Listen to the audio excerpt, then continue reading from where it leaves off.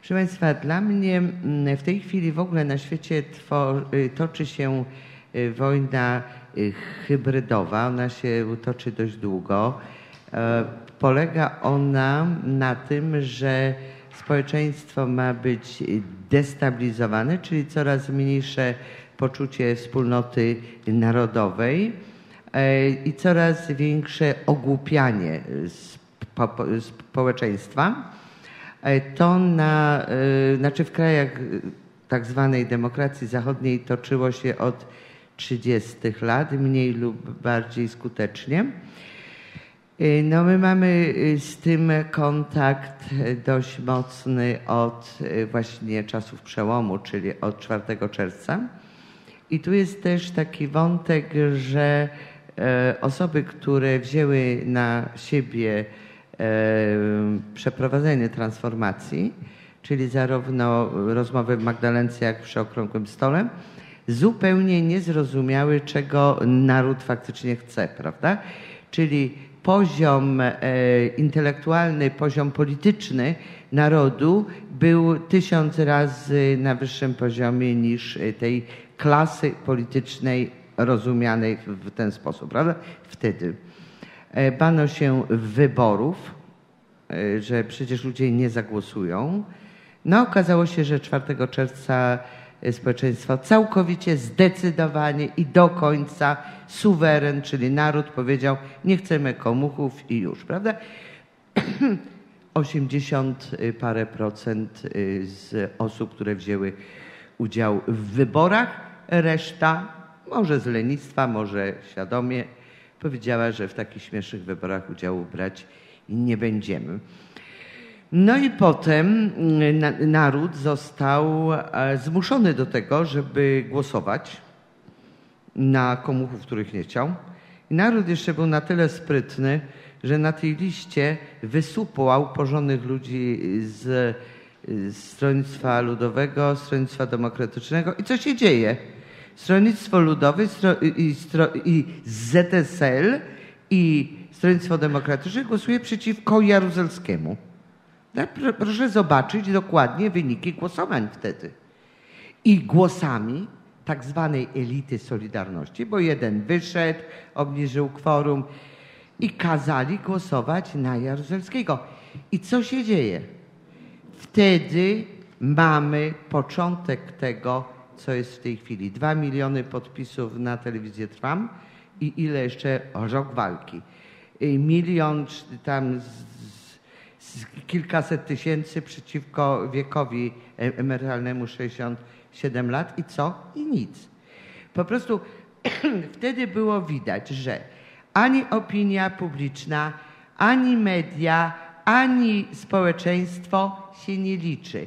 Jest pewna grupka ludzi, która wie lepiej.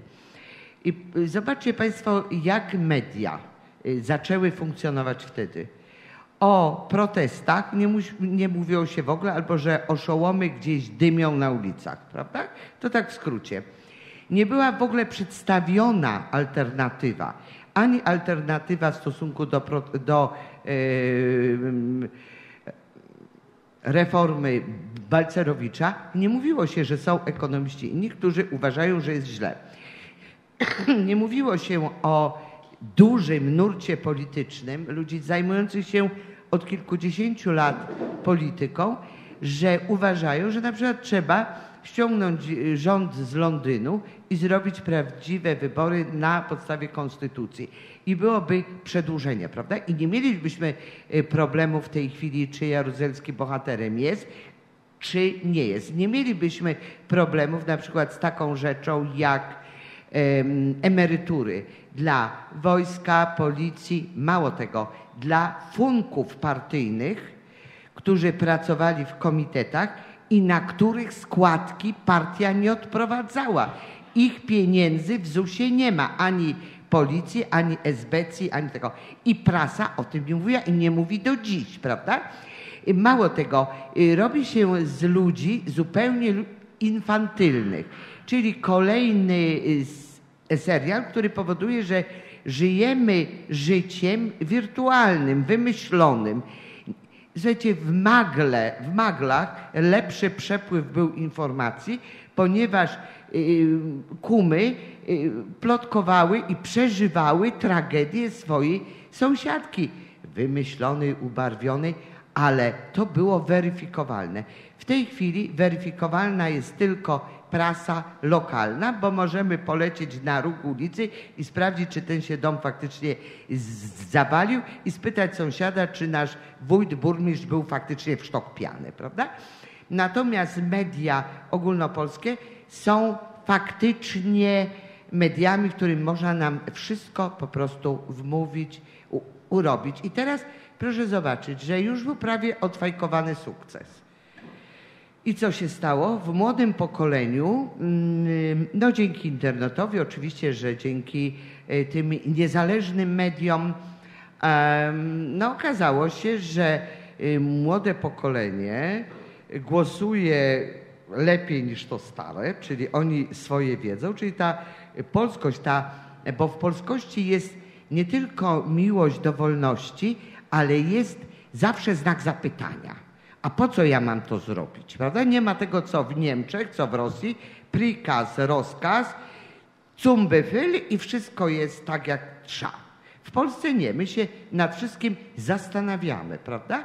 Czy to aby słuszne jest naszego y, poparcia. I proszę zobaczyć, że w tej chwili protestują ludzie młodzi że e, zarówno na e, pogrzebie i Jaruzelskiego po stronie tej no, oficjalnej to był wiek taki 60 plus, a na tej, po tej drugiej stronie no, był wiek, no, powiedzmy średnia y, koło 40 osób, I, i licząc y, też y, ludzi jeszcze z drugiej w, w wojny światowej.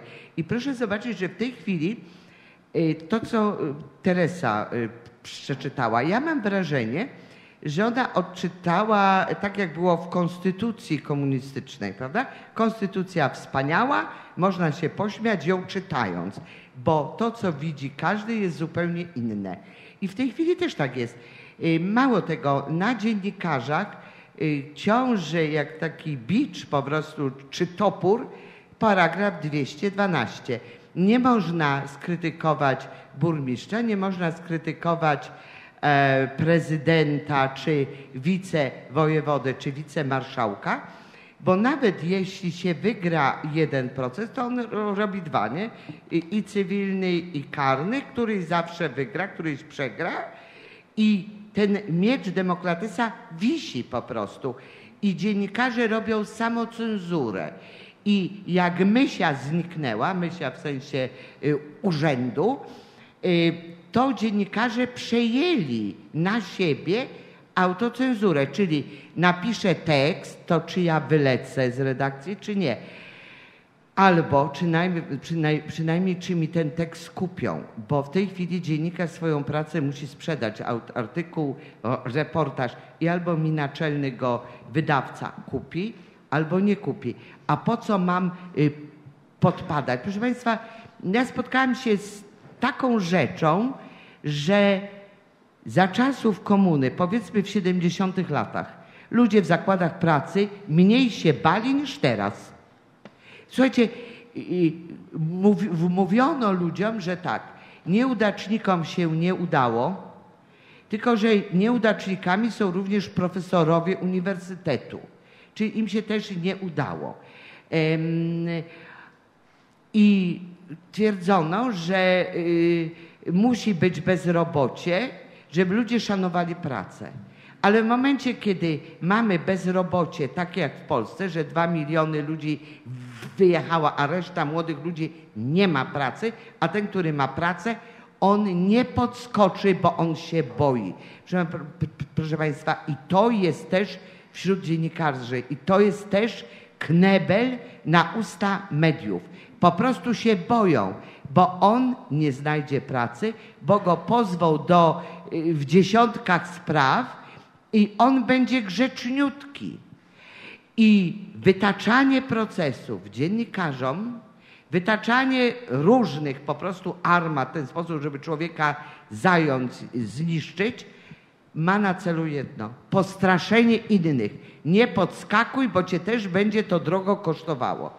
I dla mnie w tej chwili możliwość odwoja, odwojowania mediów, bo o tym mówimy, jesteśmy na dobrej drodze, bo jak e, Teresa y, przeczytała ilość i rodzaj tych mediów, czyli od elektronicznych, telewizja, radio, prasa, jest możliwość, tylko potrzebny jest też kapitał. I zastanówmy się, na ile jest możliwość tworzenia mediów społecznych, spółdzielczych, ponieważ media nam sprzedano. Prywatyzuje się PAP, prywatyzuje się telewizję, bo dziennikarzy już wypchnięto do prywatnej firmy, gdzie będą grzecznie y, podskakiwać w takt muzyki y, granej przez prywatnego. Tak samo jak na przykład na Śląsku sprzedano media Niemcom. Tak samo w Gdańsku. I kapitał musi być polski. Może być kapitałem państwowym, może być kapitałem prywatnym, spółdzielczym, ale polskim. I każda inwestycja w media jest inwestycją, która chroni bezpieczeństwo państwa, ponieważ wojna hybrydowa po prostu cały czas trwa i ludzie muszą sobie zdawać sprawę z tego, jak dezintegracja państwa następuje.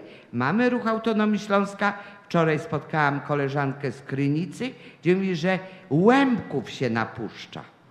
Więc proszę sobie wyobrazić, zaraz Kurpiów i będziemy mieć destabilizację. A proszę zobaczyć, że to nie tylko Polska. Wielka Brytania, Hiszpania i będzie leciało wszędzie tak. I to ma, jeszcze raz powtarzam, osłabić poczucie wartości narodu, tożsamości narodowej i rozbicie państwa. Na Ukrainie toczy się oprócz wojny hybrydowej, która trwała wcześniej, toczy się już otwarta walka. W związku z tym, ja jeszcze raz powtarzam, media są kluczowe w zachowaniu tożsamości i w przetrwaniu narodu. Dziękuję bardzo. Bardzo. e,